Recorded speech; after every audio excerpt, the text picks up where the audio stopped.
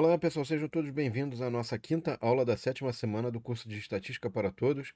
Nessa aula, então, nós vamos falar sobre as propriedades que a probabilidade associada a uma variável aleatória possui, tá? Então vamos lá, ó.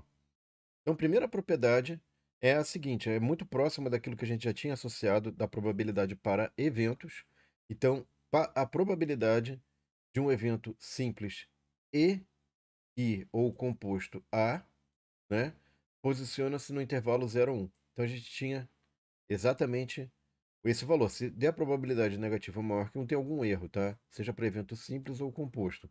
E a segunda propriedade que a gente tinha também, pessoal, para eventos simples, é que se eu somasse é, todos os possíveis eventos simples dentro do meu espaço amostral, se eu somasse as suas respectivas probabilidades, eu teria então um valor igual a 1, tá? Vocês reparem que isso vai se conservar para a questão da probabilidade de uma variável aleatória discreta, x, tá?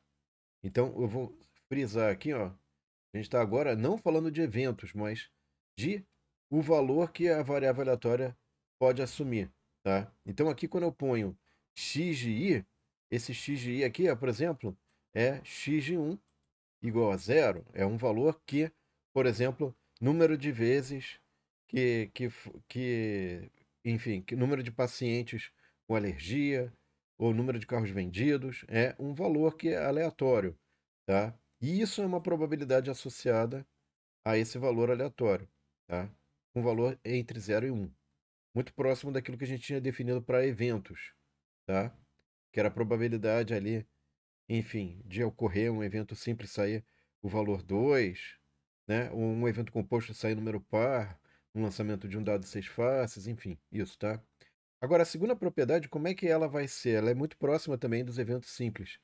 Só que aqui eu vou ter que colocar a soma de todos os possíveis valores que a variável x de i pode assumir.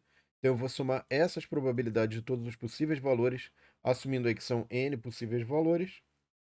Eu vou ter, então, Aqui uma soma de, de 1 até n, tá? Vai, ter o valor igual a 1, tá?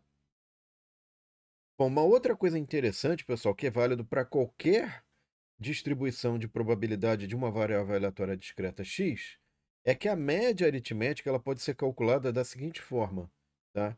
É mi, letra grega mi, é igual a x ou seja, é o valor que a variável aleatória pode assumir, x1 igual a zero, por exemplo, vezes a probabilidade desse x de 1 ser igual a x1 ser igual a zero, por exemplo. Tá?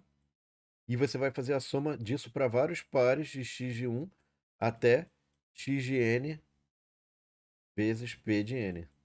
p de x de n, né? Tá? Ficou meio feio aqui, nossa senhora. Mas enfim.